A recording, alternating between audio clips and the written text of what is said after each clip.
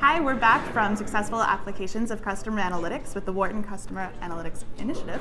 I'm here with Stephanie Ferguson from Microsoft, and she just got done speaking, but we wanted to touch back on some questions through um, from our Q&A session that we just couldn't get to.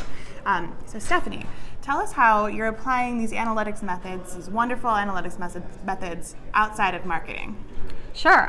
There are a couple things that come to mind right away. One is products themselves and services themselves. For years, we've had telemetry built into products, but now the analytics horsepower is so amazing that we can do much more with it.